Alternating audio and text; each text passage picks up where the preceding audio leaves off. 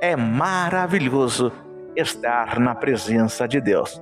Seja bem-vindo a mais um vídeo de confissão diária.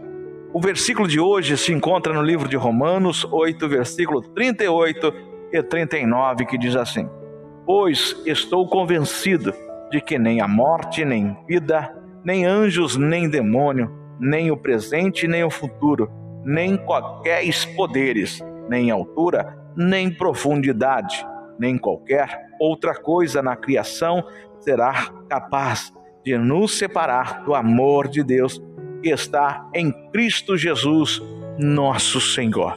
Declare esse versículo profético nos três períodos do seu dia: manhã, tarde e noite.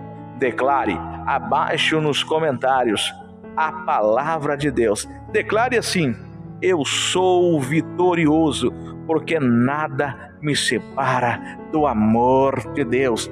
Escreva abaixo nos comentários: Nada poderá separar o amor de Deus para comigo. Escreva abaixo nos comentários: O amor de Deus é a coluna da minha família. Escreva abaixo nos comentários: Eu sou vencedor, porque Cristo me amou. Aleluia!